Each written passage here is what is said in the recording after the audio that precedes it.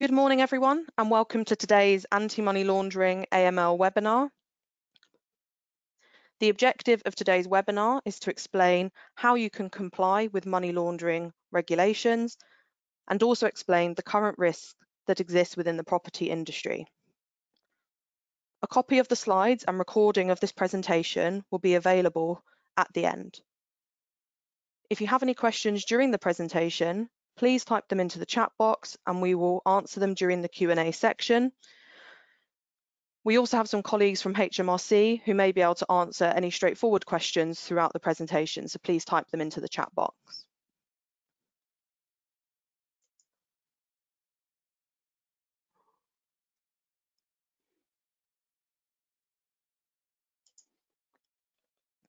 Firstly, introductions. My name is Kelly Cronogue and I am joined by my colleague Glenis Debelius. We are both Finance Profession Assurance Technical Specialists here at RICS within the Regulation Department. We are joined today by Alan Patrick from HMRC, Stuart Young from Etive Technologies, and Ollie Thornton-Berry from Thirdfort. Chrissy O'Rourke, Head of Conduct Standards at RICS, will also be joining us for the Q&A section of this presentation. Here is an overview of the topics we are going to discuss today.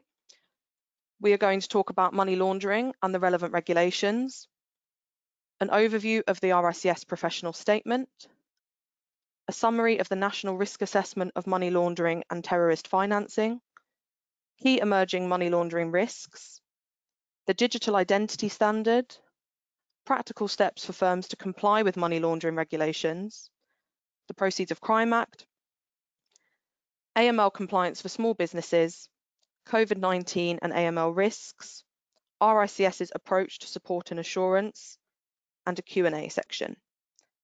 The main presentation will take around an hour and we will have approximately 30 minutes at the end of the presentation to answer questions. First, I'm going to provide you with an introduction to money laundering. So what is money laundering and who needs to register for supervision? Money laundering is the process of concealing the source of proceeds of criminal activity to disguise their illegal origin. You may have heard this referred to before as cleaning or laundering money. Money laundering could take place through hiding, transferring and or recycling illicit money through one or more transactions or converting property into seemingly legitimate property. For RICS firms, HMRC is the supervisory body for money laundering and firms who are required by law to register include estate agents, letting agents where the rent received exceeds 10,000 euros per month, and high value dealers who deal in transactions of at least 10,000 euros in either one transaction or a series of linked transactions. Estate agents are the main facilitator in a property transaction. This is why they are required to register for money laundering supervision. UK property purchases can be an attractive method to launder illicit funds due to the large amounts of money involved and possible complex ownership structures. The letting of property involves a regular flow of funds and an inability to know the final destination of those funds, making it a potentially attractive method to facilitate money laundering. We'll be talking more about the specific risks that both estate and letting agents face later in the presentation all firms required to register with HMRC could inadvertently become involved in facilitating money laundering if they do not have the appropriate controls in place. So what are the appropriate controls? The appropriate controls a firm registered with HMRC needs to have in place are contained in the money laundering, terrorist financing and transfer of funds information of payer regulations 2017. Below are the relevant sections from the regulations that we are going to cover during this presentation. Regulation 8 requires different types of relevant persons to register with a supervisory body and follow anti-money laundering regulations, as we have already discussed in the previous slide. Regulation 21 requires relevant persons to appoint a nominated officer who will be responsible for AML compliance within the firm. This is known as a money laundering reporting officer or MLRO. Under Regulation 18, firms must identify and assess the risk of money laundering and terrorist financing in its business. This written risk assessment must be provided to the supervisory body on request. Regulation 24 states that regular training must be provided to relevant employees on how to recognise and deal with activities that could give rise to money laundering. Regulation 27 requires that customer due diligence is undertaken to establish and verify the identity of all customers and the nature of the transaction. We will discuss each of these in more detail later on. In addition to the money laundering regulations, the RICS also has a professional statement on countering bribery and corruption, money laundering and terrorist financing. The professional statement became effective from the 1st of September 2019 and provides, provides both mandatory requirements and best practice in relation to anti-bribery and corruption and anti-money laundering and terrorist financing. The professional statement applies to all RICS members and all RICS regulated firms involved in work where there is a potential for bribery, corruption, money laundering and or terrorist financing.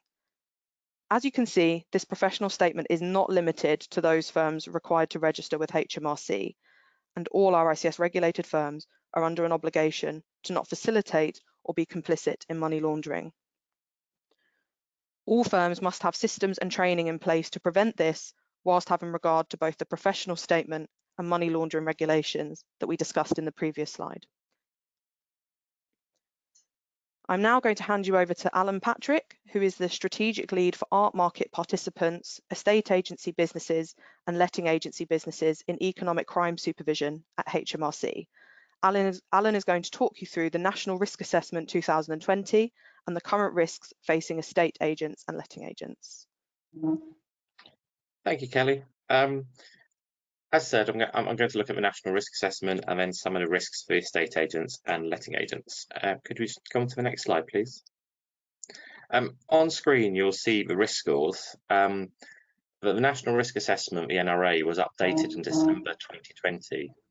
Um, there were changes in the risk scoring, as you can see, for property, estate agents and letting agents, which were covered for the first time. And I'm just going to look at them separately. For money laundering, the property risk rose from medium to high. Uh, UK property purchases remain an attractive method to launder illicit funds due to the large amounts that can be moved and the low levels of transparency of ownership or source of funds. Since 2017, law enforcement agencies have observed increased overseas buyers and overseas cash flows into the UK property market. The property sector as a whole is facilitated by a range of service providers, including legal services, estate and letting agencies services, and financial services, and often features the use of corporate structures. Therefore, the NRA chapters relating to all these services should also be read alongside this one to fully understand the interconnectors of sectors where money laundering it, it, it is where money is laundered through property. Uh, buying a property offers criminals an opportunity to make an investment while giving it the appearance of financial stability. Property prices in the UK have a reputation for increasing in value over long term.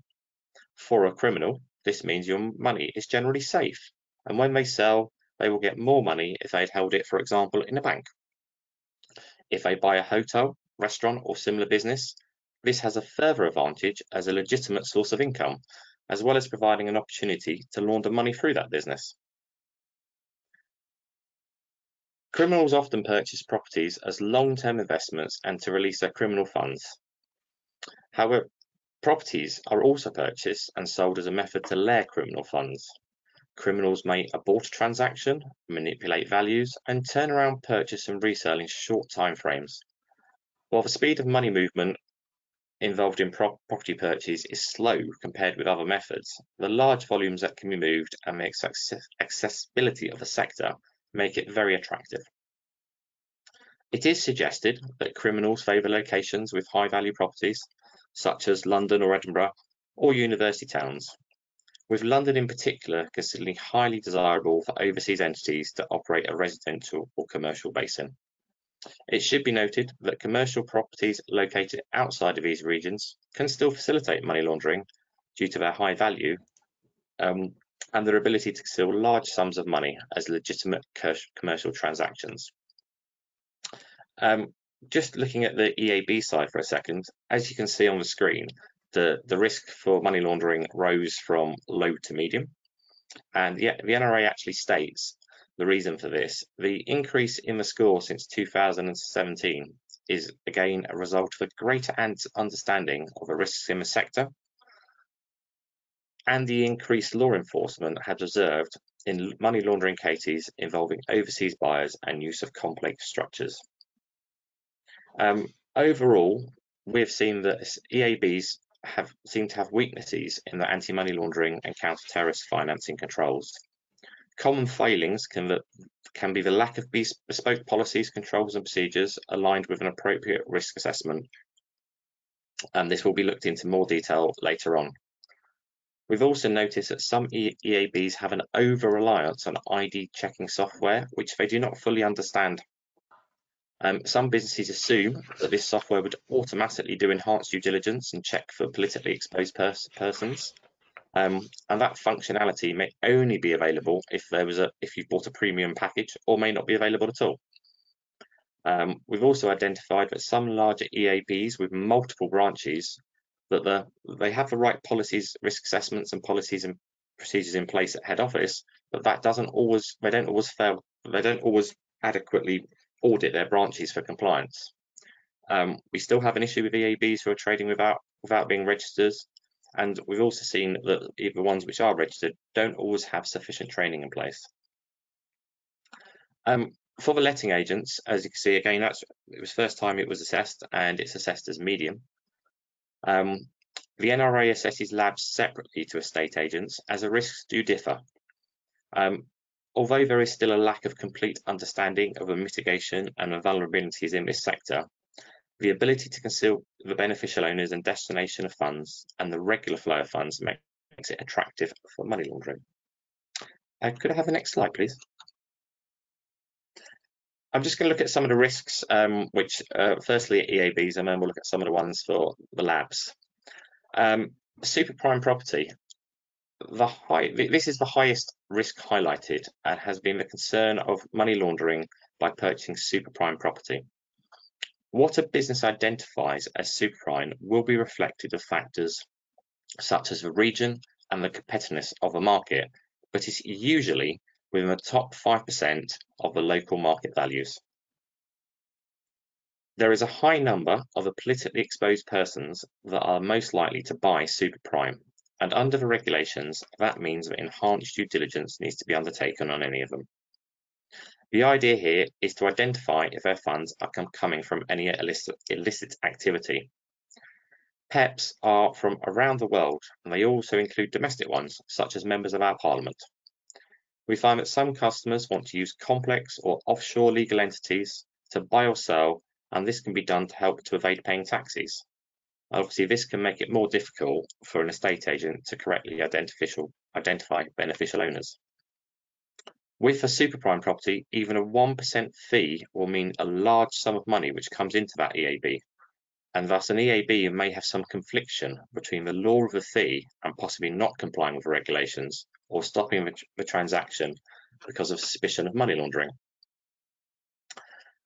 Residential property and commercial property um, we, gen we see that generally residential property poses a greater risk than commercial property. Um, this is because client turnover is higher, the property is easier to sell on, and it can be lived in using criminal funds. That doesn't though mean that the commercial property does not have also pose risks, uh, but particularly with office and retail space. Complex, opaque company structures are less likely to raise suspicious, uh, suspicions in the commercial sector than in the residential market uh, non-face-to-face customers, um, if you meet a customer face-to-face, it gives you an opportunity to interact personally and verify the customer's ID. Uh, transactions made online, over phone, or via an intermediary are higher risk than those done face-to-face. It reduces the exposure to the customer, decreases effective identification, and thus increases the chances of money laundering. Um, and this is obviously even particularly true when you deal with customers in higher risk countries. And obviously, with COVID and restrictions that have been in place, um, there has been an increase with sales done online, and thus creates a higher risk. Uh, looking at country or geographic areas, um, you need to be aware of the risks about the location of a property in relation to the buyer and the location of the buyer and the seller. Some countries may have sanctions, embargoes, or similar measures on them. Uh, some countries are identified as lacking appropriate anti-money money laundering or counter-terrorist financing laws, the regulations and other measures, or they provide funding or support for terrorist activities. Uh, they could also have significant levels of corruption or other criminal activity. It is important for EABs to consider each country by looking at things such as bribery, corruption, and organised crime. In addition, businesses should also consider whether it's in a conflict, conflict zone or it is known to support terrorism or human trafficking. Um, you should also ideally be aware of political situations in other countries and say where a regime may be falling, but they may not be able to identify, so, so they may be able to identify a corrupt official who is seeking to launder their funds in preparation for a country being overthrown. Our advice is always to do a media check. Essentially, Google the overseas agent or individual and see what comes up. Um, unregistered EABs, um, obviously any individual or business who should be registered as an EAB or for a lab, um, but are not, and this could be either because they're unaware of the rules or they won't engage with the rules and purposely do not register. Obviously, there is an increased money laundering risk for, for a registered business who deals with an unregistered EAB or lab, as they are unlikely to have the correct anti-money laundering measures in place. And lastly on the EAB is just looking at unusual financing. Um, in more recent years, we've seen some rather interesting and unusual methods of financing a property. For example, uh, property prop sales concluded using crypto, crypto assets such as Bitcoin. Uh, we also sometimes see mortgage fraud taking place. This is usually done by the purchaser taking out a mortgage from a less than reputable bank in a high risk country. As soon as the transaction is complete, the full, of it, full amount of a mortgage is then paid off immediately. It will be when the EAB are having conversations with customers that unusual financing methods should crop up. Uh, could I go on to the next slide for the lab risks, please? So as you're probably aware, um, letting agents or labs are a new sector for us to supervise, and they came into scope on the regulations on the 10th of January. Um, on screen is the definition of the definition from our regulations. Um, it is based upon a similar definition to an EAB, so they have similar wording. However, they are defined separately um, and have different risks. Um, you'll see on screen we've highlighted a couple of bits in yellow. Um, this is the sort of key parts when you're trying to work out if you're a letting agent or not. Um, and it's in in response to instructions received from and seeking to seeking to find. And that's what you need to look at to see if you are a letting agent or not. Um, and as you can see, it doesn't cover all letting agent work. It only covers the higher end of this sector. So it must be a monthly rent of 10,000 euros or more or an equivalent currency. So a letting agent would only need to register with us if they are letting a property above this amount rather than all letting agents. We have seen some issues with letting agents already registering with us who are trading well below the threshold but are doing it just because of um, instructions received from a bank. Um, for us as a supervisor, you do not need to register with us. Um, it's it, you would need to have a, a further conversation with your bank. Um, could I have a next slide, please? And just looking at a few general risks uh, for the lab side, um, just looking generally, um, the, I mean, the services offered by all letting agents and our labs uh, and our registered labs can be attractive to criminals uh, and money launderers. And this could be because of rental land and properties above the lab threshold are considered attractive um, for laundering illicit funds simply due to their high value. Uh, a property bought with illicit funds can be further profitable by renting it out, and this can be done for both commercial and residential and can provide a legitimate source of income. Rental income may also be from illicit activities, but using a lab, which gives that, those funds legitimacy. Uh, landlords may have purchased a property with illicit funds, tenants may be paying rent with illicit funds, or the landlord and tenant may be part of the same criminal group, laundering their funds under the guise of rent payments. Unlike estate agents, labs do all, all labs will handle client money, including fees, deposits, and rent, which obviously brings increased risks. And of course, a rent could also be on paper only, and the tenant never taking up any occupancy. And these are known as ghost lets, or worse, it could be used to house individuals who are being trafficked or enslaved. Um, we had lots of questions around holiday lets and whether they were in scope, and we've had a lot of look into this. And at the moment, it isn't uh, under a normal circumstance, ho holiday lets are not deemed to be a, a, a lab for us. Um, a lot of this is due to duration, as normally a rental agreement has a fixed time frame, say three to six months or longer, whereas most holiday, let, holiday lets are normally under 30 days. We know that's not always the case, but that's a general sort of rule. Um, we are keeping an eye on this to see what happens, to see if there is a move from traditional letting agents to the hospitality industry. And obviously, if that happens or other methods develop, we will look at that and possibly make a change to the regulations. Um, commercial rents. A potential risk is that the commercial sector may be more vulnerable to complex letting arrangements, including overseas corporate entities where criminals wish to add extra layering to its money laundering efforts. For example, an overseas corporate entity controlled by criminals might acquire a high value commercial property in the UK using illicit funds which have previously managed to launder and move offshore. It could then arrange for a commercial sector lab to let the property to another overseas corporate entity, which it also controls.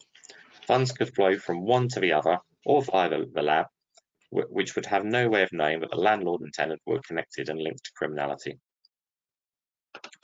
Um, tenants normally pay rent by electronic transfer to the client's bank account.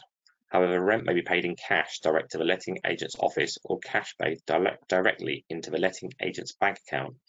This enhances a risk if paid into a bank account. How does the letting agent know who paid the money into the bank? It could have been literally anybody. Um, repayments. Um, the churning of funds is, is another risk we have seen, although we do feel this is probably more commonplace to take place below the lab threshold, but we're, we're again, something we're, we're trying to find more data on. And this is normally the way in which money can be deposited as cash into a letting agent's bank account and then paid back out with clean funds electronically a few days later. And of course, there's a possibility this process can be repeated on a regular basis.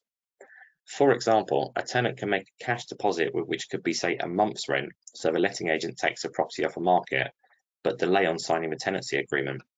Before the tenancy starts, the, tenancy, the tenant changes their mind and asks for a refund, which is paid back electronically. The letting agent would have no right to retain the tenancy deposit if the tenancy agreement had not been signed and the tenant had never moved in for the property. Obviously, now the money is now being cleaned through the letting agent um, a tenant may ha may have to pay six to six to 12 months rent in advance. And if this is paid in cash and then refunded electronically, the scale of a risk of money laundering increases. Uh, that's it from me for now. Uh, back to you, Kelly. Thank you, Alan. I'm now going to hand you over to Stuart Young, who is the founder of Etive Technologies, and Stuart is going to discuss the digital identity standard. Great, thanks very much. I think as Alan's pointed out quite well there, we can see quite clearly the property is, is a high risk area. It's, it's, a very complex area because of the number of actors that are involved in the home buying and selling process of a residential property. And what the My Identity scheme is doing is working to look at improving the standards of identity checking um, through the, the residential transaction, hopefully improving the process for the consumer as well, and um, for the industry as a sector. So if we go on to the first slide, um, we can see that as a problem definition, you know, the consumers have to prove their identity up to five times through the transaction process. And the different people who are asking for identity verification are often using different standards or processes or working to their own internal interpretations of the standards and processes. And that quite often leads to inconsistency and indeed confusion and conflict for the consumer. And the, our understanding from the insurance industry and those that provide the PII cover for conveyancing firms is that 70% of all conveyancing transaction frauds relate back to identity fraud and can be linked back to that. So the My Identity scheme is focusing on de-risking the process due to the values of the transactions that are taking place. Um, as Alan pointed out, the values of these are very, very high, although the frequency of, of the fraud might be considerably lower.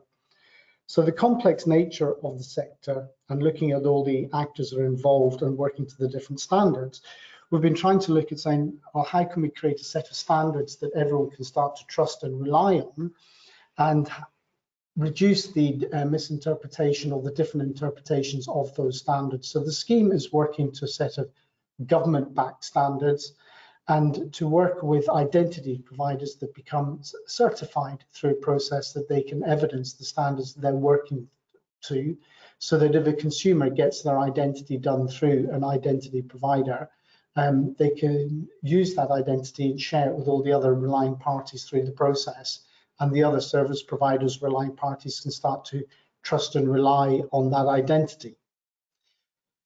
So a, a big part of this scheme is working with the identity providers to um, bring their standards up to a level that um, can be used against GPG 45 and AML regs, which if we go on to the next slide.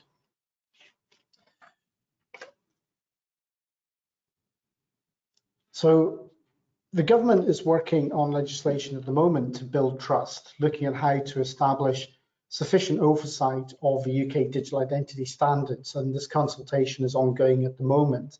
And it sets out how a body could actually do this. So we're seeing that the GPG 45 profiles looking at how to determine how to determine how to achieve a level of confidence in a verified identity. And this is working to what's known as a level of confidence medium and this is comparable or equivalent to the level of identity verification required in the money laundering regulations. So the government is proposing to create a permissive legal power to allow digital identities in the UK to be built on a greater range of trusted data sets and for government held attributes to be checked for validation purposes. So government have set out how they how we could build confidence in the legal validity of digital identities and attributes alongside the physical proofs of identity that businesses and individuals already trust, and which is as part of their commitment to increasing choice and confidence for the consumer. So the My Identity scheme is specifically looking at identity verification and PEPs and sanctions of an individual. So the consumer or the client, as they go through the process, additional checks may, may still have to be carried out but if we can get the consumer, the client who's entering the home buying selling process to get their ID and V done at the outset to a much higher level of standard, the consumer then owns that and has the ability to share that with the other service providers through the process. So they go through an estate agent, they get their ID and V done, they can then share that with their conveyancer, their solicitor, their mortgage intermediary, and their lender. This helps towards reducing the friction for the consumers having to do it a number of times. It helps with the onboarding of the client on working with the other service providers through the process and improves the standard of identity because the mortgage lender, the solicitor can start to trust and rely on the identity verification that has been created for that customer back through an estate agent. But there's a number of profiles that are required to show how an identity can be assured. And if we go on to the next slide, we can see that there are there's eight different levels of um, the, the eight different sets of, of, of, levels of identity that can be that can be used for a consumer. We have to look at if we look at M1C, we can see that this is the land registry safe harbor um, profile for identity, but it only covers one profile. There are in fact eight, and indeed even potentially more different profiles that we have to take into account when dealing with customers and consumers and people that they don't all necessarily fit into the, the, the M1C profile, that they have a passport or an ID card or driving license. There are a lot of people out there who are digitally excluded or are unable to engage digitally. And this is, this is reflected if we look at issues around disabled people who can't go online or who find that online processes are quite difficult. Um, estimates are that there's about 4.3 million people that drop out of doing processes online because of due to inaccessibility of the website or the application that they're using. And this is a combined spending power of to the UK PLC of 11.75 billion pounds. It would be interesting to see what the breakup breakdown of that would be relating to housing. So the scheme is looking to make sure it covers all the, the, the sectors of society. If we go on to the next slide, um, what's become very important is this reliance or trust on the ID&V. We know that most people don't trust the identity verification carried out by an estate agent, so the conveyancer will do it again themselves. However, if we look at the regulations, this is very important to point out, is that a conveyancer, a mortgage lender, and intermediary can trust and use the identity carried out by an estate agent through a certified identity provider. So the DCMS framework is working towards meeting this criteria about certifying identity service providers. So the mortgage lender who's presented with the identity verification of a client, of a customer that's been done by an estate agent can check against the scheme that the identity provider is working to scheme standards. So the project that we're working on at the moment, the My Identity Digital Identity Standard, is working with a number of identity service providers to bring them up into the scheme so that they become certified through the DCMS framework and working through the home buying and selling process that the various service providers can see which identity providers are certified, working to an agreed standard and meeting the regulations required to help improve the standards of ID&V and helping to de-risk the process. If we go to the final slide, um, we can see, so what does that mean in very simple practical terms? Well, what it means on the left-hand side, we can see here are a, a, range, a random, this is just random range of identity providers operating in the home buying and selling sector, working under the scheme. And working through a hub model, they contract with the hub. And on the right-hand side, we can see all the service providers that would procure an ID&V as part of the transaction process. The beauty for them now is that they can just contract with the hub they don't have to contract with each in, individual identity provider if they don't want to. They can use a range of identity providers for different services as part of their, their service provision to the consumer to help with home buying and selling. And very importantly, the lender or IFA, whoever's further down the food chain, can actually see the identity providers who are working as part of the scheme. So when a consumer, if a, a customer comes to them the estate agent, the conveyancer, or the IFA can actually point the customer to the scheme to pick an identity provider or pick an identity provider that they already work with as who are working as part of the scheme.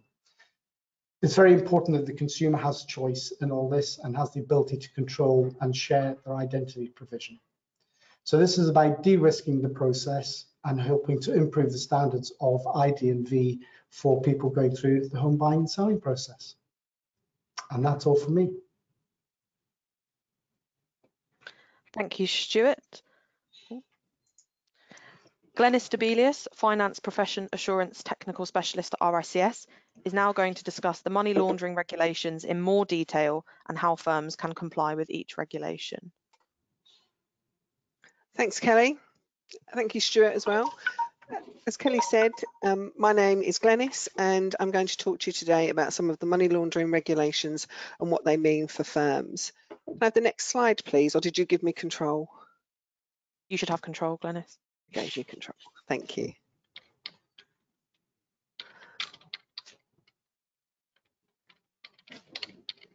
There we go.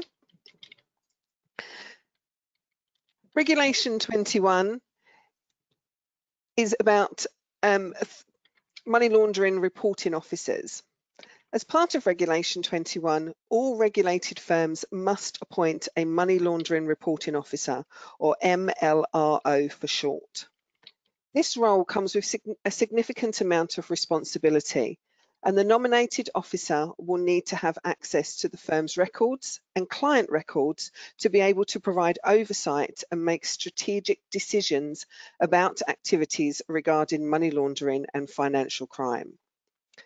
Money laundering reporting officers should be involved in anti-money laundering policies and procedures, in record keeping, ensuring due diligence is carried out on customers, undertaking internal and external reporting, and may also be involved in providing training to staff.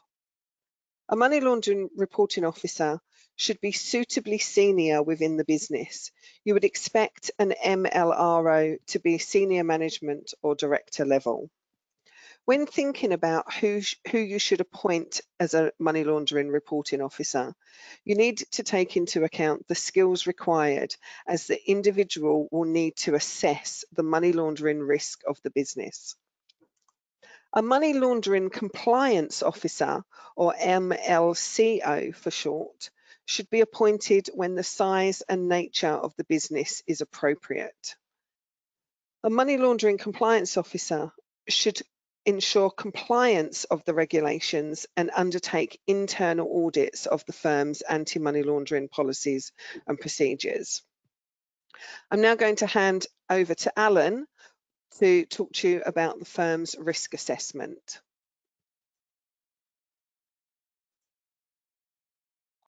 Thank you. Um, I just wanted to cover a few bits um, around the risk assessment, as it is basically is one of the key documents that you need. Um, need it ensures it covers all the risks and it needs to be updated regularly. In many ways, this is sort of a cornerstone. This is the starting point, and you need this first. Um, many of the risks which a, an EAB or a LAB will face, they will already be aware of.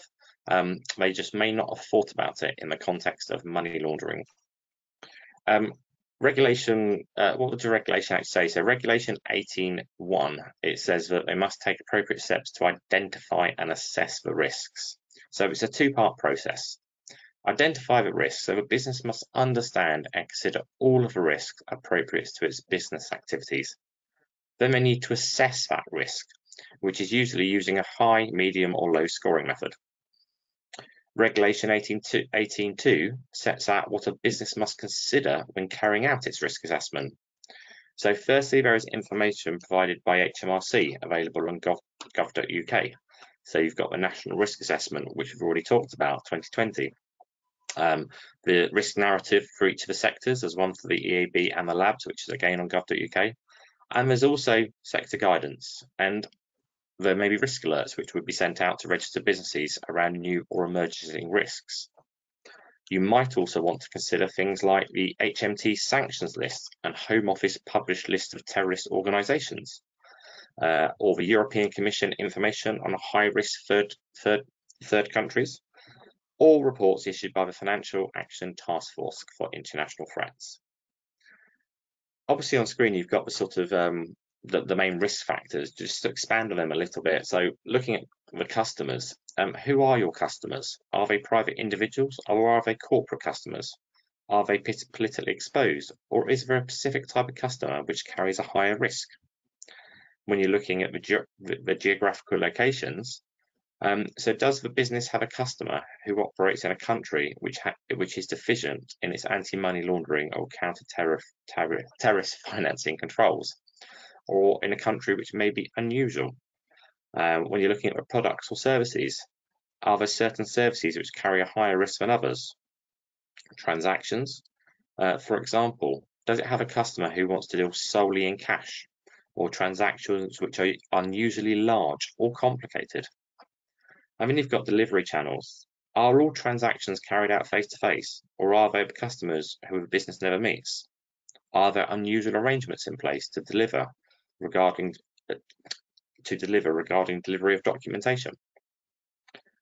The risk assessment needs to be specific to the business and its activities, so what's appropriate for one business is not appropriate for another. There can be a tendency to apply an industry standard or use a template available on the internet but the risk assessment needs to be spoke to each business and no two risk assessments should be the same. Every business is slightly different. You should also note that there are templates circul circulating which can be used to risk assess an individual client, but this is different to requirement under, regu under Regulation 18 of risk assessments. You may wish to consider introducing a customer risk assessment in order to decide the level of due diligence which needs to be carried out. And lastly, A business must keep a, a record in writing of all the steps it has taken when carrying out its risk assessment and keeping it up to date. So basically, you need a version control. Um, so have a review date and, as I said, use a version control. Um, the, the, risk assessment should also be reviewed when there is a change in circumstances. Um, so a good example of this was um, what a business would have to do to change things when the COVID restrictions came in. Um, obviously, once a business has considered all the risks, it's they can then design design their their policies, controls, and procedures to mitigate those risks. Thank you. Back to you. Thanks, Alan.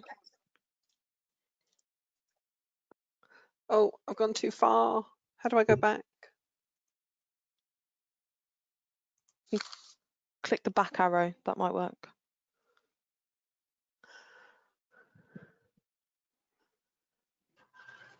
Can you do it, Kelly? Uh, I don't know. Yeah, there you go. There we go. Thank you. um, so Regulation 19, Policies, Controls and Procedures. Under Regulation 19, firms are required to have written policies, controls and procedures for money laundering. Firms must ensure they have communicated these to all relevant staff and must also ensure they are kept up to date and any changes are also communicated. Evidence must be kept on file that the policies, controls and procedures have been approved by senior management and an audit trail must be kept of any changes made along with the evidence of this new approval. Factors that must be considered when writing your policies, controls and procedures. Risk management practices. This should include, for example, a statement of what is money laundering and the geographical scope of your work, global, national or local, for instance. Then you should consider internal controls. These should include who your money laundering reporting officer is, what they are responsible for, and why they are suitable for the role, how and when staff are trained, and how this is recorded, and if you have an independent audit function to monitor the money laundering reporting officer. Then you should consider customer due diligence. This should include the how, why, and when customer due diligence is undertaken, how you risk rate your customers, when to use simplified, standard or enhanced CDD, what verification documents are acceptable, and how to identify sources of wealth. Then you should look at reliance and record keeping. This should include when to rely on work completed by third parties and how and what to do if that work is not sufficient how records will be kept and stored and for how long, and how to deal with GDPR conflicts. Then you should consider monitoring and management of compliance with the communication of such policies, controls and procedures. This should include how compliance with the legislation is monitored, how policies, controls and procedures should be updated and by whom, and how and when changes should be communicated.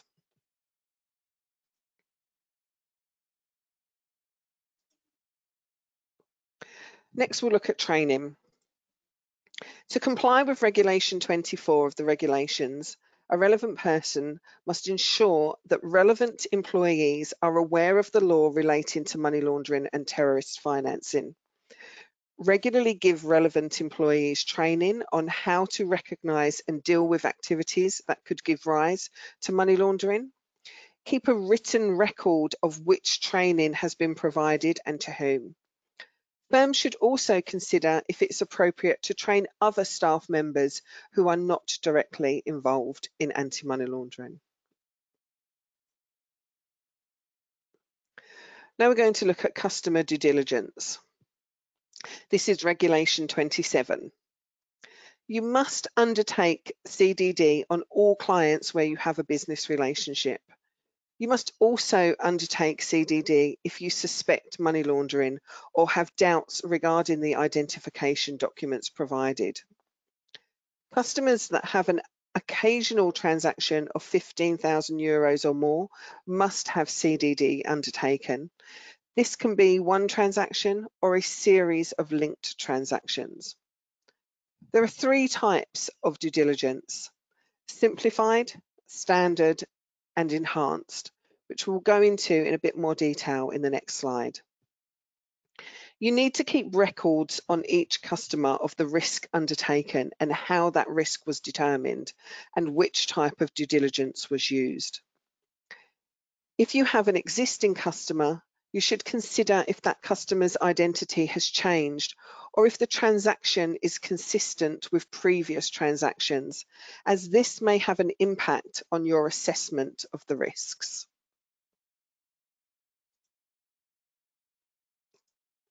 So these are the three types of customer due, diligence. Let's have a look at each of them. Simplified due diligence can be undertaken for customers that are considered low risk. This type of due diligence may be appropriate for public authorities or financial institutions and should be supported by the firm's risk assessment. Simplified CDD should not be used if there are doubts over the documents or suspicion of money laundering. Standard due diligence would be used for most of your customers and must be appropriate for and is most appropriate for individuals, companies and trusts. This is used to identify the owner and beneficial owner, verify the identity of the customer, the nature and purpose of the transaction, and checks and establishes sources of funds. Standard CDD must be undertaken on intermediaries. And then we have enhanced due diligence. This applies where there is a high risk of money laundering. It must be used when a politically exposed person or PEP has been identified, or if the customer is from a high risk third country. When you are dealing with a PEP, you should also carry out checks on source of wealth as well as the source of income checks that have been that need to be undertaken. Thank you very much, and I will hand back to Kelly to talk to you about the Proceeds of Crime Act. Thank you, Glenys. Another piece of legislation that is relevant to money laundering is the Proceeds of Crime Act 2002, and I'm going to talk you through the impact of this legislation on RICS firms. So far, we have discussed the relevant regulations and what firms need to do to comply with these, but what happens when you are dealing with a customer who you suspect could be involved in money laundering? This is where the Proceeds of Crime Act applies. Section 330 of the Act requires firms to submit a suspicious activity report, known as a SAR, to the National Crime Agency if they know, suspect, or have reasonable grounds for knowing or suspecting that a person is engaged in or is attempting money laundering. The National Crime Agency will then respond to either grant or deny permission to proceed with the transaction. Within a firm, usually a staff member will report their suspicions to the nominated money laundering reporting officer, who will then submit the suspicious activity report if appropriate.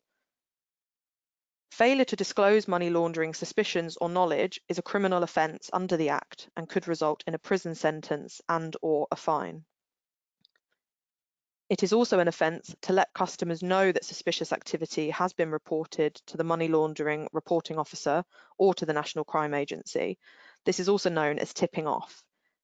Tipping off, whether deliberate or inadvertent, is also a criminal offence and could result in a prison sentence and or a fine. We've discussed the relevant legislation and regulations in relation to money laundering, but smaller firms may be wondering if and how these apply to them and how they can comply. The regulations, legislation and professional statement that we have already discussed apply equally to small firms as they do to larger firms.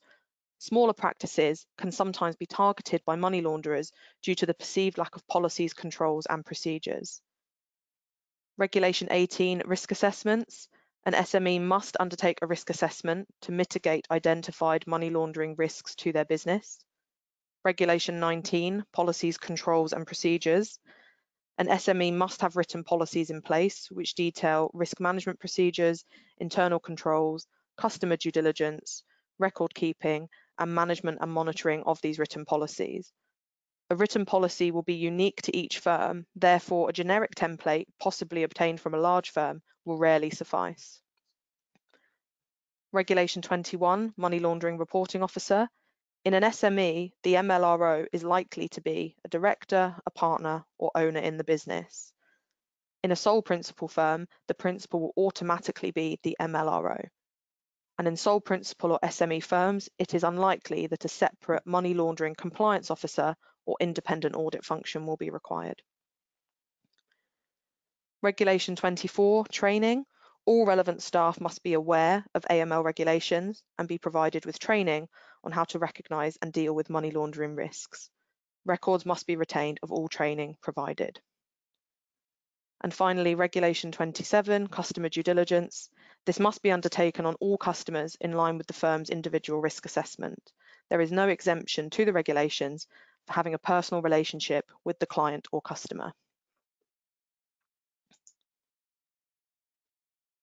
The COVID-19 pandemic has affected how businesses are able to operate, which may have also impacted their money laundering procedures. I'm now going to discuss some of these risks and how they can be mitigated. In relation to customer due diligence, the social distancing rules have meant that face-to-face -face meetings to verify original identity documents has become more difficult. Firms must ensure that all necessary steps are still taken to establish and verify a customer's identity, and they can utilise technology capabilities where this is appropriate. Firms should review their risk assessments, policies, procedures, and controls, and update them to reflect any changes in how they are now operating. For example, if the money laundering reporting officer is temporarily not working, a new or temporary officer should be appointed.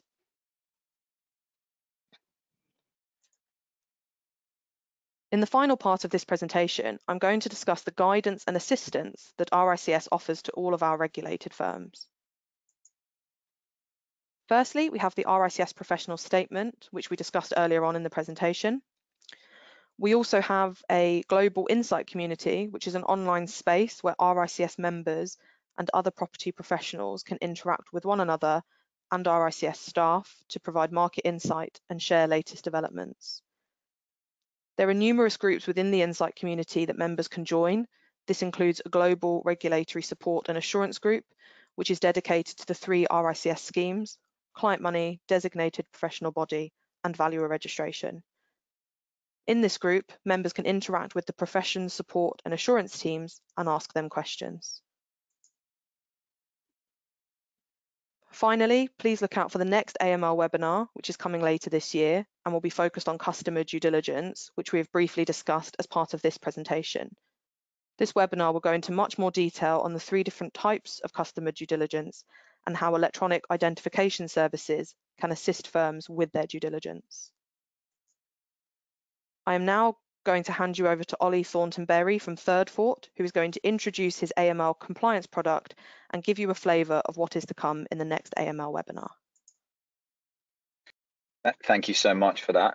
Um, just briefly uh, introducing Thirdfort. So firstly, I recognize that for agents out there, AML is getting harder. That's that's the first point. Um, we speak to lots of estate agents on a daily basis and we recognize that the challenges um, in compliance are just getting harder almost by the day.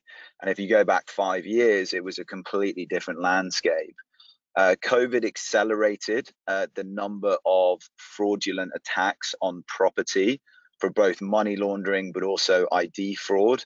Um, we've come across many more instances of people trying to sell properties they don't own uh, the, fa the famous one being Mishcon uh, and Dreamvar, where a client sold a flat in uh, Earl's Court for 1.2 million uh, to a buyer all in cash.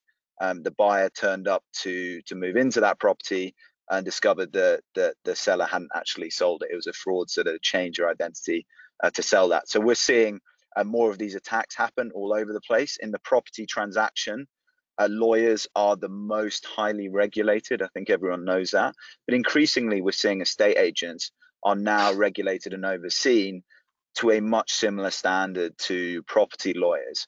which is why you know we very much started where uh, regulation was most onerous. So so with the property lawyers, and in the just over uh, two years since we've launched, uh, we signed up around 600 law firms, uh, currently onboarding around 35,000 of their clients a month. And now we've seen over the past six months huge demand from the estate agency space to use our same uh, the technology that is driven by open banking uh, as well as digital ID. And with open banking, you can get bank statements from your clients in in a matter of seconds through a through a secure uh, mobile phone app.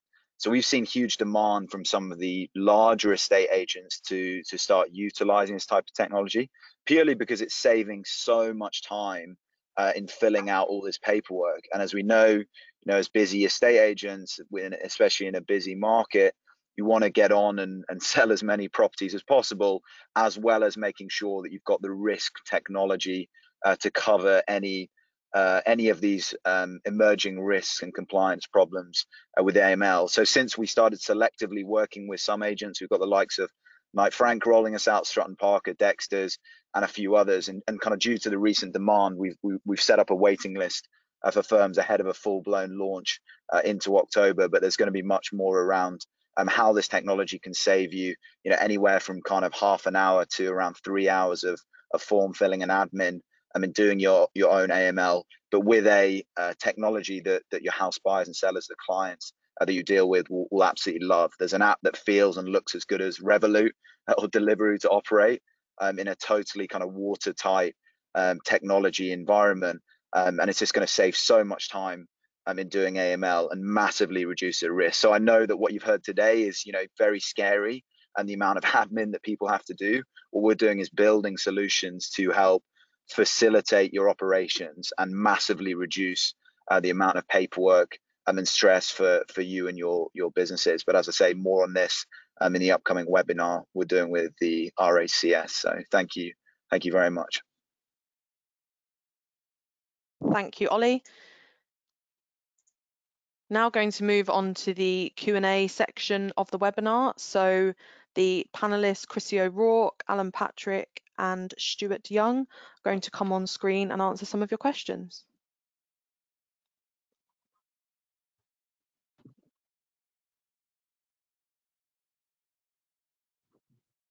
Okay. So just looking for the questions now. Had one about managing agents, which was Hi, Kelly. Do you want, yeah, do you want me to take that one? Yeah, have you have you got it in front of you? I have. So the question that was asked was about um, somebody who's a managing agent of a of a block, and and um, uh, I think it was a commercial block specifically, uh, perhaps doesn't fall into the definition um, of an estate agent or a or a letting agent. Um, uh, but do they have to do uh, money laundering checks on the tenants, um, even if they've inherited them from a, a previous agent? Um, so I think that Alex from HMRC has provided an answer to that from the sort of HMRC point of view, which is really about, you know, it's very hard for them to answer without um, some understanding of exactly whether or not the, the person falls within the business falls within the legal definition of a, of a letting agency or a or an estate agency. But working from the assumption that that the person asking the question is is correct that their business doesn't fall within that that definition there's still the RICS professional statement to consider which um, obviously is uh, goes beyond the the legal requirement around um, anti-money laundering uh, registration and regulation um, in order to ensure that from an ethical point of view, none of our members and firms are um, facilitating money laundering. Um, and the answer from that point of view really is around risk assessment. So obviously Alan's spoken about risk assessment in relation to regulated businesses. We would expect unregulated RICS firms to go through a similar process. What kind of work do we do? What kind of clients are we dealing with? Where are they situated? What kind of risks does that give rise to. And obviously, Alan gave an example earlier about the possibility of a criminal business setting up complex um, corporate structures that might allow for, you know, the owner to, of a business, the owner of a building, to then have a tenant in that building, which is really a money laundering relationship. Um, so you'll so as a as a managing agent, I would very much expect that you will have done identity checks on your client, on the owner of the business, presumably the, the freeholder. Um, and you'll understand them, you'll understand the kind of risks that they give rise to. I would hope you'd also have some understanding, of course, of who the tenants are, um, you know, even if you haven't done sort of identity checks on them, um, and that that will allow you to then do a risk assessment um, and consider do you need to do identity checks? Are there any, um, you know, are, are, there any connections there that you need to worry about? Are you in an in a particular area? Is your is the amount of rent, the the kind of businesses um, that are within that property, the kind of thing that you need to be concerned about? Um, and maybe you do need to do those checks um, if your risk assessment suggests that you do and you might want to do them uh, on a kind of you know rolling basis anyway it's always good i think particularly when you're dealing with client money to understand who you're dealing with um, and and have have you know have surety about about those those people's identity. So that would be my answer. It's really about your risk assessment as a business, who your client is, who those other customers, those, those tenants are, um, making sure you understand that, and then making sensible calls from there about what level of, of, of identity check you might need to do.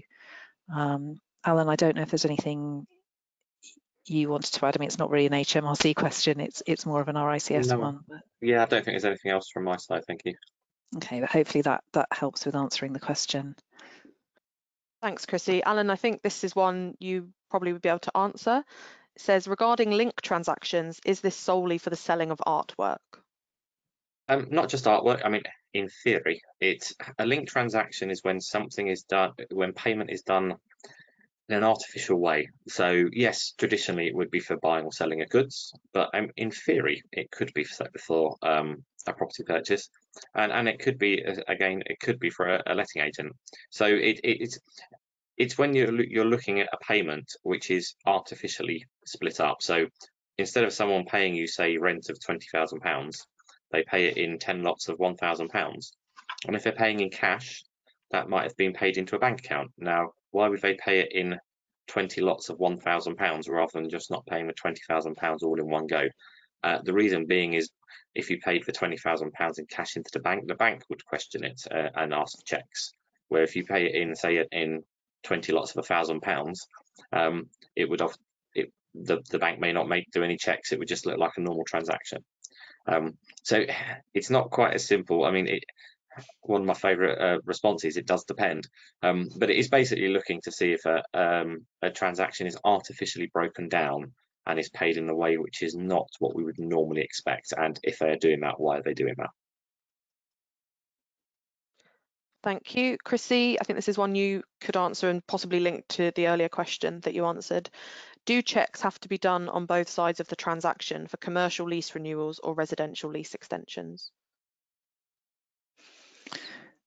So obviously, if it's over the, um, if you're looking at amounts of rent where it brings it within the the regulated space, um, my understanding to that is is yes, absolutely. Um, you have to to do um, checks on both parties. Um, and then from the point of view of the RICS professional statement, so if you're below that, those sorts of levels, um, it's going to be down to your risk assessment um, I mean, I would have thought that in most circumstances you're going to want to do, even if it's only basic identity checks, you're going to want to do those um, because if you don't understand that, um, then it's very hard to assess your risks. Uh, but that I think that, I mean, certainly that's my understanding of, of what's required in the regulated space. Um, and I think it would be, you know, unless you really are dealing with extremely well-known clients, something which for some reason you you view as not being a risk. Um, I would have said that that's probably good practice, um, you know, even outside the regulated space. Thank you. Alan, this is something you discussed during the presentation, so you're probably best placed to answer this. It's asking for risk assessment templates and model or sample compliance documents from either ourselves or yourselves. Um, we do not have anything like that. We there, there is we don't have we don't produce anything like that because there is we don't want to have a bespoke something which is generic. Um, it's completely down to a business to decide what what they use and how they do it. Um, there are, as I said before, there are various ones out there, and it's not a problem if you use a generic document, but you then must tailor that yourself to your business. Um, the problem we sometimes see is when a business purchases a generic document or, or, obtains a generic document online and then just applies that it says that's it but they've not looked at it. We have had times when we've seen these documents and sometimes they even have the wrong business name on them. They haven't got as far as even updating that that much. So if we don't have anything as such um because we don't produce anything like that but i mean there are some available online but as i said if you do get something like that you must tailor it to your to your business. Okay and the next question whoever feels best placed to answer, what risk assessments are needed for surveys and valuations where they're not selling the property, they're just undertaking the survey or valuation? So that's probably one for me to answer because it's not in the regulated space. So HMRC probably don't have a view. Um, on the face of it, that seems like very low risk work. Um, you know, you're not handling client money. Um, you're not, you know, you're not facilitating i mean although you're facilitating the the transaction in the sense of providing some of the information which goes towards it um, you know you're not uh, you're not sort of legally facilitating the the transaction. Um, i would have said that in those circumstances your risk assessment can probably be um, fairly straightforward quite quite brief but we would still expect you to do one you know is there anything about the kind of transactions that you're you're dealing with you know if you were dealing with super prime property say or you were dealing with um, very complex uh, or you were dealing with um, uh, sort of an, an, overseas corporate client, something like that, you still need to be aware that you have a responsibility if you suspect money laundering to um, to report it. So, you know, if you are if for any reason there's there's something that alerts you that that this looks suspicious, um, you're maybe dealing, you know, you you become aware that somebody's a, PEP, say, dealing with super prime property, um, and there's anything about, you know, you're dealing with that person or their agents or something else that makes you suspicious, you may want to be in a position to understand what your responsibilities are to, um, you know, under the from an ethical point of view to report those sorts of things. But on the whole, it seems like it's it's likely to be low risk work. You're likely to be able to have a fairly straightforward risk assessment.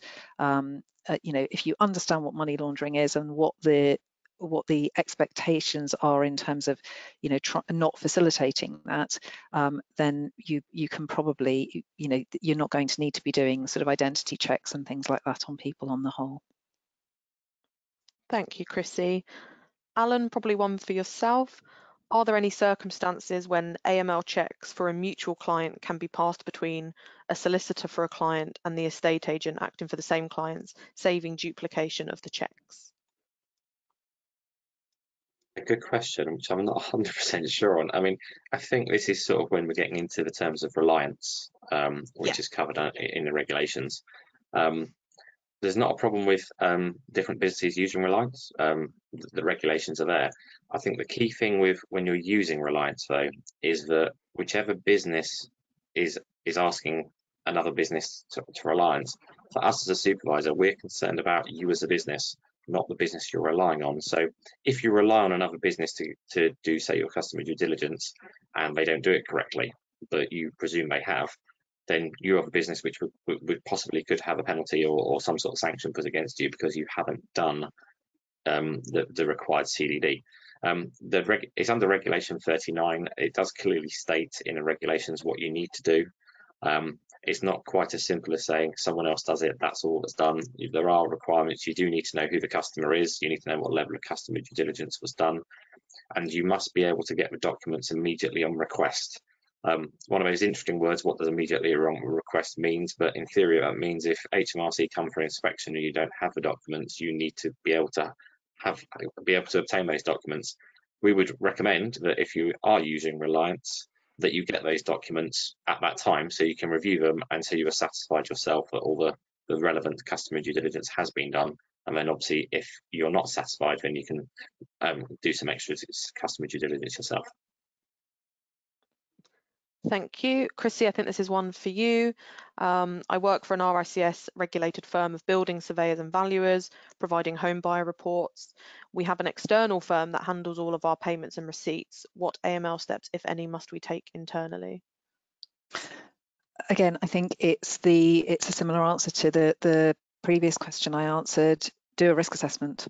Look at what you're doing, write down somewhere what your risk assessment is that you know that you the work that you're doing is is low risk um, and you know and as long as you have that do some training have some understanding of, of money laundering you know as people are doing here you know you can you can evidence that you've that you've done the training here um, put that in your risk assessment um, think about any other staff members that might need to know about it um, and that's probably um, you know that's probably sufficient in terms of the kind of that kind of work unless there's anything unusual about what you do. Okay. Alan this question is in relation to your slides. What does EAB and LAB stand for? Uh, that's estate agents businesses and letting agent businesses. Um, there was one other in there I saw if you wanted me to do about the, the, yeah, the level of rent and why about euros and pounds. Yeah, um, absolutely. Just just to explain, um, it's set in euros because the regulations are based on the European Money Laundering Directives, so that's why it's set in euros. I mean, it does clearly state in that that even though it's in in euros, it's equivalent to another amount in currency. Um, as into what the UK currency, I mean, that changes on a daily basis. Um, so you need to go and check what that is. Um, I don't actually know what it is. Probably about eight, somewhere between eight and a half, nine thousand pounds, roughly. I'd thought at the moment. Um, however, there is on gov.uk there is a, um, a monthly exchange rate for each month of the year, which goes back a long time, um, and, and this covers not just euros but all currencies around the world, and it's a monthly agreed exchange rate. So that is what we would use as, as a base rate as to what the exchange rate would be. So um, if you go on gov.uk, you'll be able to find that list, um, and, and, it will show you for each month what the what the agreed exchange rate is for that month. Okay, this is this is I guess a question for all of you. This is quite interesting. In terms of additional resource required and additional costs with even more legislation and regulation, who bears the cost of this? Is this passed on to the client or is it borne by the ultimate end user, i.e. the tenant? It's probably more of an opinion question than um, than anything factual, but any thoughts? I can start on this if you want. Yes, thank you, Stuart. Um, the My Identity scheme is all about putting, if you look at the DCMS policies, by putting consumer in control of their own identity and their own data with the ability to control and share that. So that has an implication on the cost because we know that the current processes and procedures if a solicitor does my ID and V, the identity results are sent back to the solicitor and they use that and they won't share that with anyone else. And this kind of ties into another question that was asked about the sharing of an identity. And if we look at the, what the um, My Identity scheme is doing, it's about helping the consumer to have that ability to share their identity with whomever that they want. So if it's done through a certified identity provider, they can share that with their estate. If it's been done through the estate agent, they can then share it with the conveyancer, their mortgage intermediary and their mortgage lender. Who pays for it is a, an interesting one because the current model is that um, identity providers are B2B enterprises. But what's happening through the My Identity scheme and what is a, a, desire of the DCMS and what we're designing into the scheme is to enable a consumer to get their own ID and V done and to pay for that directly themselves if they want to. Now, the cost can still be covered by an estate agent if they want to do it as part of their service offering or the conveyance or whoever it might be. But through that, what's very clear through the scheme and the regulation and the design of the DCMS Digital Identity and Attributes Trust Framework is that the consumer owns their identity, irrespective of who pays for it. So the scheme is designing that in that the consumer can pay for it directly themselves. And two bits of research came out this year both fully evidencing and highlighting that consumers are happy to pay for their own ID&V to control it and share it. And in one of those bits of research, it was done through an estate agency group, um, one of the big ones, 799 respondents, and just over 80% said they prefer to manage, pay for and manage their own identity and have the ability to share that with other people. So that's great for the industry because it takes that immediate cost off the estate agent if they're or the conveyancer or mortgage intermediary and just pushes it directly onto the client. You can pay for it and then share it. So it helps with onboarding and takes that immediate administrative cost off the um, businesses or the relying parties through the process. It's one of the options that's in, as part of the My Identity scheme. Thank you, Stuart. Um, a question that, that you might be able to answer also is to do with um, electronic identification services. It says if you were using a third party provider to undertake AML ID checks, is it still essential to see original identity documents? Um, no, it's not. What this is designed is the there's an output of a certificate that highlights a brief level who the person is, that we know who they are and who they say they are, with the checks that have been done against them. So under the regulations that, that are coming through, it is not an actual requirement. However, what we've designed into the pilot is to allow for the giving of that evidence because culturally there are still certain sectors that like to have all that evidence and there may be incidences where that further evidence will be required. So it does support the sharing and giving of that information where required, but it's not an actual requirement. You don't need it. Great, thank you. Alan, I think you might be able to answer this one. Please can we have a quick summary of the differences between money laundering and terrorist financing? Um, I mean, money laundering is basically the process um, of when you, are taking money um, obtained from crimes, um, and it can where where uh, terrorist financing is um, funding terrorist activities in a, in a very sim simplest. I mean, the risk of terrorist financing, which I'm not sure I've actually mentioned this earlier, um, for the EAB and LABs is low. Um, for some of our other sectors, uh, we see prices quite high, but for estate agents, it's it is fairly low. Um, the biggest risks which an EAB and a LAB will face will undoubtedly be uh, relating to money laundering. So, I mean, basically, and basically with money laundering, it is the ways which criminals are getting money and they're trying to clean it. Um, there's lots of there's different methods of doing it. There's different stages of it. Um, but basically, they're, they're trying to get their criminal assets and money, um, and they're trying to whether it's from buying a house, renting something, or buying something else. They're trying to make it look come out the other side looking like it's clean money, or have some asset to show for, which could be in this instance a property. Great, thank you. And we've had another question, I think um, could be for you as well, Alan. What is the easiest way to view the definitive list of PEPs, if there is one? Um, I don't think it's a definitive list, but I mean, straight away, I'd take, I'd say go to our regulations, uh, regulation 35, uh, and I think it's 3512 off top. I'm, I'm, looking at something else which someone else has said. Yeah, 3512. So there is a list in there about what it is. Um, I'm not going to read it all to you because it's there's quite a lot in there and it'll take quite a while. But yeah, go, go to the regulations and, and, look at regulation 35 uh, para 12, which should give you a lot more information. Okay, I'm just checking if we've had haven't had any more questions come in.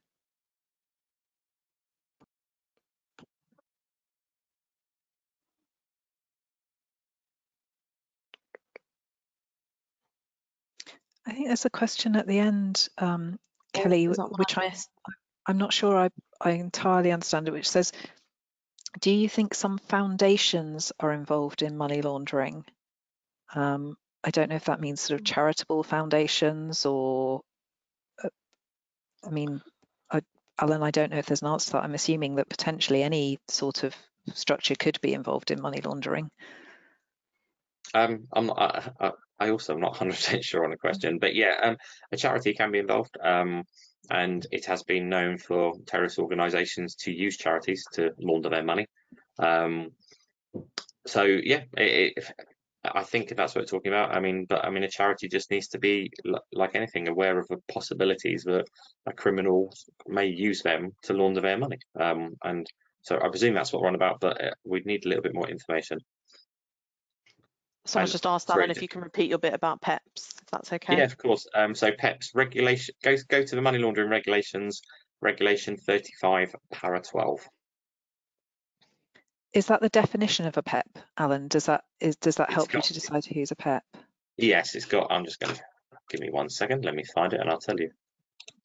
Uh, so Regulation 35 covers enhanced customer due diligence for politically exposed persons, and it goes on lots of details. And when you get down to 12, um, yes, it goes down about um, politically exposed persons, about who it is in an individual, uh, someone who's in a prominent public, middle ranking, junior official, whether it's um, family members um, and close associates. So basically, and then when you get into uh, 14, it then's got more information about who it covers, like heads of states, members of parliament, etc. Are there any sort of publicly available lists that a, a person could use, you know, if they know that somebody is domiciled in Germany to find out who PEPs in Germany are? Is, is there anything like that available for people, or is it is it more that you need to do your own, you know, Google your person and, and then look at them against the definition? I don't know off the top of my head. I think it's more you need to have a look. Um, um, but um, I will let you know. As far yeah, as far as I know, there is no list. Unfortunately, uh, it's something you would need to look into for that individual person and, and obviously who they are, what they do, uh, and what happens in that country.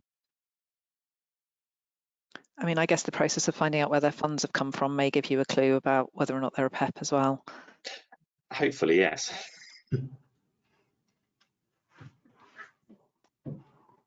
Okay, we haven't had any more questions come through. I'll just leave it for one more minute if anyone has any last minute questions they want to add in.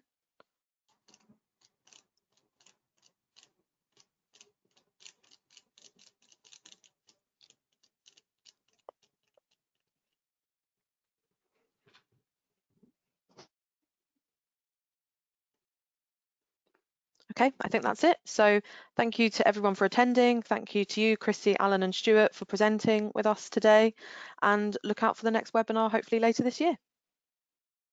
Great, thank you very much. Thank Thanks for having you. me. Cheers. Thank thanks. you. Bye. Bye. Thank you.